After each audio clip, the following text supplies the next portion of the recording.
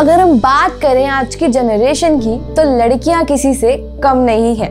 जहाँ आज के समय में देश बढ़ रहा है, वहाँ महिलाएँ भी हर काम में बढ़ चढ़कर हिस्सा ले रही हैं।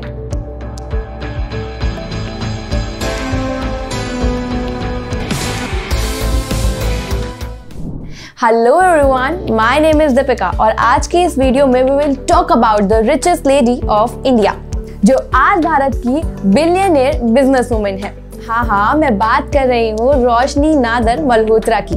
और आज इस वीडियो में हम आपको बताएँगे रोशनी के बारे में और उनकी सफलता की इस जर्नी के बारे में। तो वीडियो को एंड तक देखना, मत भूलिएगा। मशहूर बिलियनियर शिव नादर और किरण नादर की इकलौती बेटी रोशनी नादर मल्होत्रा का जन्म 1982 दिल्ली में ही हुआ। और उन्होंने अपनी बारहवीं तक की पढ़ाई केलोग वैली स्कूल से ही की। रोशनी ने अपनी ग्रेजुएशन और मास्टर्स की पढ़ाई नॉर्थ वेस्टर्न यूनिवर्सिटी से पूरी की। एक करोड़पति पिता की बेटी होने के बाद भी रोशनी ने अपनी एक अलग पहचान बनाई है और कामयाबी की उन बुलंदियों को छुआ है जिसके लिए उन्होंने इतनी मेहनत की। और आज उसी मेहनत का फल उन्हें मिल चुका है। रोशनी को टेक बिज़नेस में बिल्कुल भी इंटरेस्ट नहीं था, बल्कि उनका इंटरेस्ट तो मीडिया और एंटरटेनमेंट सेक्टर में था। और वो चाहती थी कि वो मीडिया में ही अपना करियर को शुरू करे। इसके लिए उन्होंने काफ़ी काम भी किया। वो सीएनएन और सीएनबीसी जैसी कंपनियों में एज अ न्यूज़ प्रोड्यूसर भी काम कर चुकी है। रोशनी ने जब काफ़ी कंपनियों में काम किया, तब उन्होंने इरादा किया कि अब वो अपने पिता की कंपनी को ही संभालेंगी। इसलिए वो दिल्ली वापस आ गई।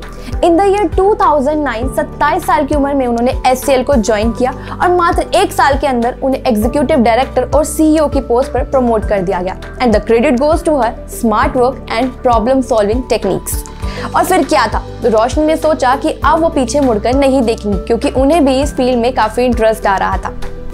साल 2009 में रोशनी ने शिखर मल्होत्रा के साथ शादी की, जो कि खुद एस हेल्थ केयर में चेयरमैन थे। साल 2013 में रोशनी को एस के बोर्ड में शामिल कर लिया गया, जहाँ वो वाइस प्रेसिडेंट बनी।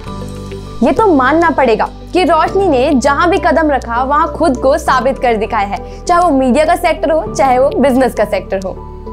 2019 में Forbes world 100 most powerful women list में रोशनी को 54th रैंक मिला और ऐसे कामयाबी को देखकर रोशनी के पिताजी को काफ़ी खुशी भी हुई। तब लोगों की ये मांग हो गई कि अब उन्हें नया प्रेसिडेंट चाहिए। उनके पिताजी ने भी जब अपनी बेटी की इस मेहनत और हौसले को देखा, तब वो भी इस मांग से काफ़ी सहमत हो गए। अब मानना पड़ेगा कि रोशनी की मेहनत ही है जो उनको यहाँ तक पहुँचा पाई है। आज उनकी कंपनी मिलियंस का टर्नओवर कर रही है। इसलिए रोशनी नादर मल्होत्रा आज बिलियनर बिज़नेस वुमेन है। Never under the power of a common women Roshni की कहानियों में सिखाती है कि आपका मर्द या औरत होना आपकी सक्सेस को डिसाइड नहीं करता है। आपकी मेहनत और डेडिकेशन इन सबसे ऊपर होनी चाहिए। सक्सेसफुल ऑन्टरप्रनोर की जर्नी में आज सिर्फ़ इतना ही। मिलते हैं next week with another success story तब तक के लिए स्टे ट्यून्ड